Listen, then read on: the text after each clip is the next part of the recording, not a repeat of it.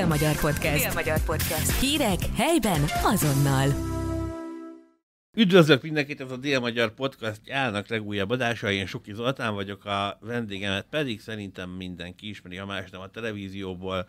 Molnár Krisztina van itt velem a Csongrácsanád Vármegyei Katasztrófavédelmi Igazgatóság szójövője. Kezét sokarom. Üdvözlöm, köszöntöm. Advent. Mindig van valami alkalom, ami miatt tudunk találkozni. Ezek általában a veszélyekről szólnak. Most advent van, és hát nem telik békésen. Nem, sajnos igen, megint a veszélyekről kell beszélni, hiszen már az első adventi vasárnapon érkezett bejelentés hozzánk tűzesetről, ugyanis ilyenkor jellemzően a tűzesetek szaporodnak meg itt Szegeden és környékén, de az egész országban.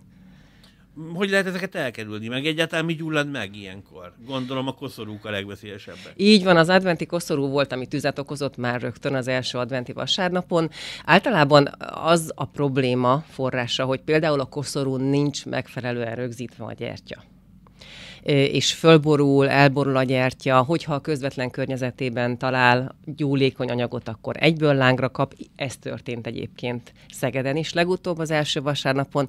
Tehát nagyon fontos, hogy arra figyeljünk, hogy ha adventi koszorút használunk, és meggyújtjuk rajta a gyertyát, akkor ne legyen a közvetlen környezetében gyúlékony anyag, és még csak véletlenül se dőlhessen el, vagy lazulhasson ki a gyertya, erre mindig figyeljünk oda.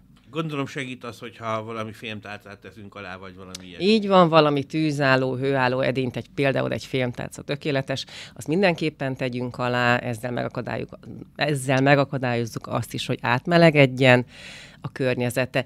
De ha valaki nem feltétlenül ragaszkodik a gyertyához, a mécseshez, ami ugyan tényleg a legszebb, és ez varázsolja a legbensőségesebb hangulatot a lakásunkba, akkor használhatunk LED gyertyákat is, ezek teljesen biztonságosak. Igen, azok a, én egyre több ilyen étteremben meg vendéglátóhelyen látom, hogy, hogy nem rendes gyertyát tesznek ki, hanem ilyen LED így van, sokkal Hát annyira nem romantikus, de...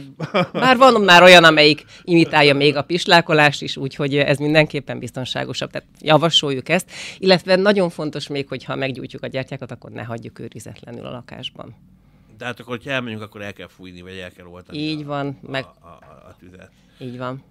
Átvent, ugye sütünk, főzünk. Annyira még nem, mint karácsonykor, de a konyhai, konyhában is vannak azért veszélyek. Ilyenkor már azért sokan elkezdik a készülődést, sütik a mézes kalácsot például, vagy előre főzik az ételeket, és igen, ilyenkor már megszaporodik, de főleg a karácsony körül időszakban megszaporodik a lakástüzeknek a száma, ami legtöbbször ilyenkor a konyhából indul ki. Nagyon sok a dolguk ilyenkor a háziasszonyoknak, sokszor kapkodnak, sietnek, és előfordul, hogy túlhevül az olaj, és kigyullad.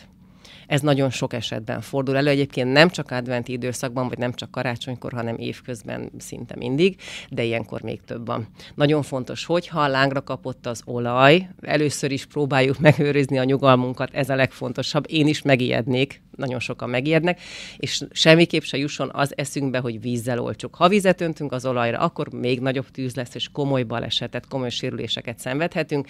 Nagyon fontos, ha meggyullad véletlenül az olaj, akkor próbáljuk a levegőt elzárni, tehát tegyünk egy fedőt rá, vagy egy rongyot rá, és próbáljuk visszahűteni. Vegyük le a gázról azonnal. És akkor, hogyha már a kigyulladt olajnál tartunk, akkor beszéljünk egy kicsiket, mert nem tudom, hogy fogunk-e még addig találkozni a magáról a karácsonyról is, hogy a karácsonykor akkor mikkel kell, a karácsonykor mire kell ügyelni leginkább. Gyertya, csillagszóró. Igen, ez a két veszélyforrás, ami ugyan nagyon gyönyörű, és ez varázsolja szépé az ünnepet, meg a karácsonyfát is. Mi mégis azt kérjük, hogy ha lehet, akkor engedjük el ezt a régi hagyományt, és ne tegyünk gyertyát a karácsonyfára. Vagy ha mégis, akkor tényleg csak addig gyújtsuk meg ezeket a gyertyákat a karácsonyfán, amíg ott vagyunk és ünneplünk, és utána azonnal fújjuk el. A csillagszórót is tudom, hogy nagyon sokan szeretik használni, természetesen lehet is, és kell is a karácsonyhoz. Én attól de... félek különben meg. Igen. Gyerekkoromban féltem, én is nem mertem tartani. Ártalmatlannak tűnhet egyébként, de hogyha olyan anyag van a környezetében, ami nagyon gyúlékony, vagy még amikor ízik letesszük, akkor bizony nagyon könnyen tüzet okozhat, és okozott is az elmúlt években.